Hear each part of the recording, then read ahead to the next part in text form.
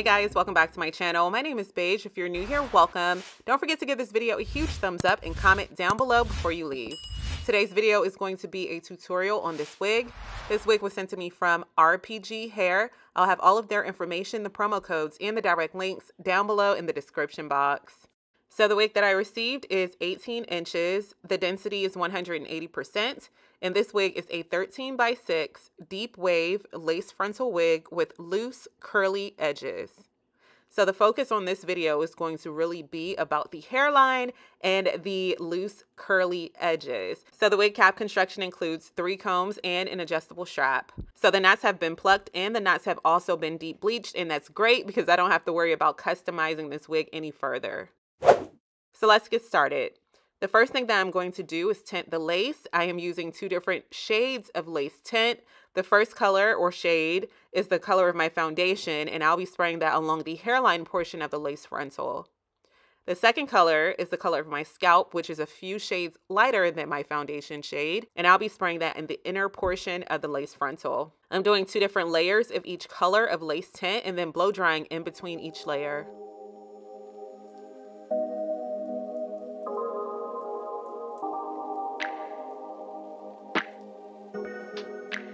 Okay, so now that the lace is a perfect color match for my complexion, I'm going to move on to styling. I'm going to grab a spray bottle of water, my Denman brush, and my detangling comb, as well as a can of mousse. And in small sections, I'm just going to start by fully saturating the section with water, using my detangling comb to detangle the section, applying some mousse to the section, and then using my Denman brush to get these waves to pop. And I'm going to follow those steps for the entire head.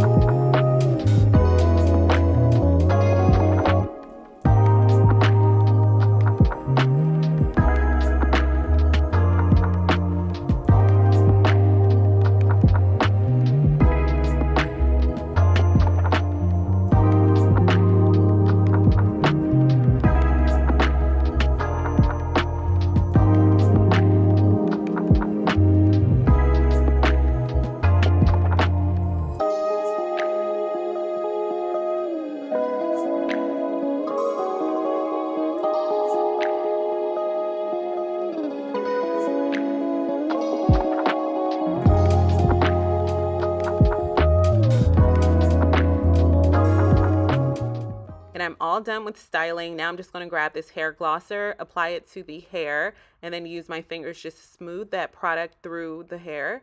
And then after that, I'm just going to grab my diffuser just to give this hair more body and volume and to make sure that it is dry in time for me to put it on my head.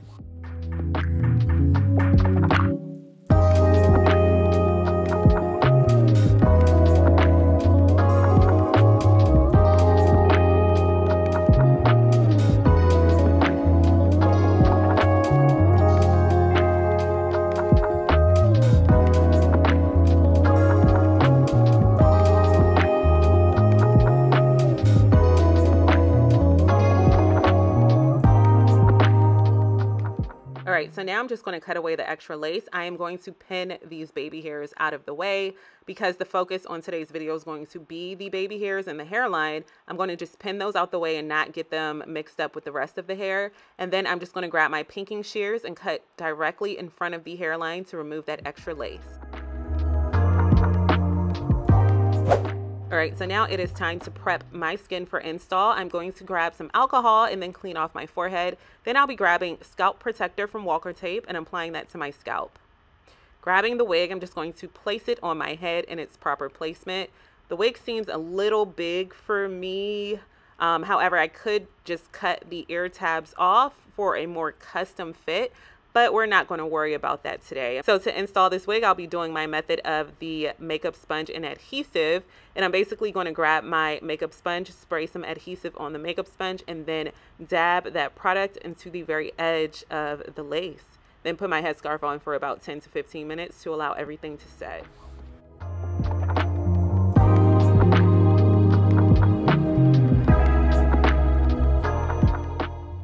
15 minutes later, removing my headscarf, there are quite a few hairs that have gotten stuck down onto my skin and onto the lace. So I'm just going to grab my baby hair brush comb duo as well as this light hold gel from Garnier Fructis. I'm going to apply that to the hair, basically the hairline, and then use the brush to basically get these hairs to loosen up. Okay, so as we know, the focus on today's video is going to be the baby hairs that came with this wig.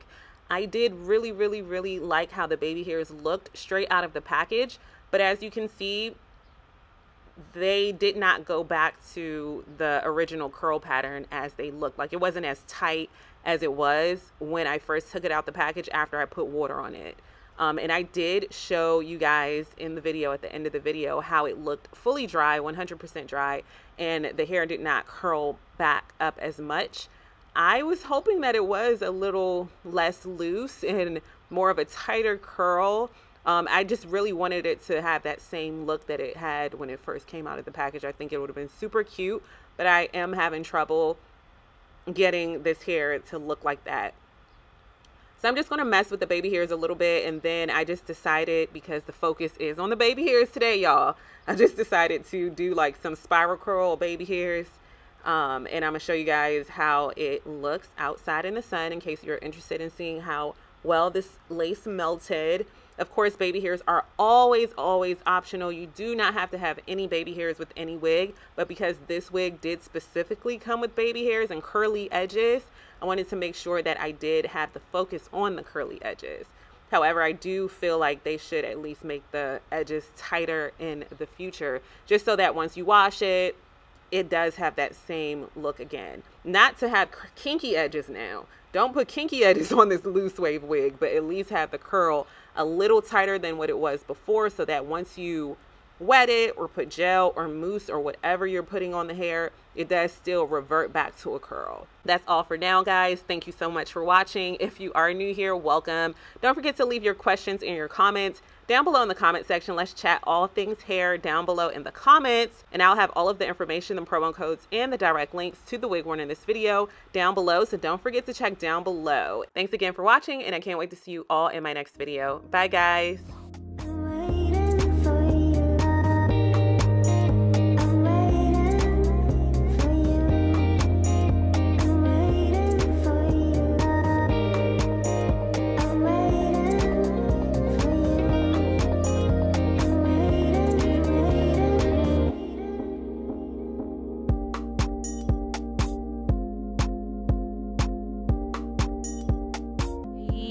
Bezos. Yeah, that's right. It's Bezos.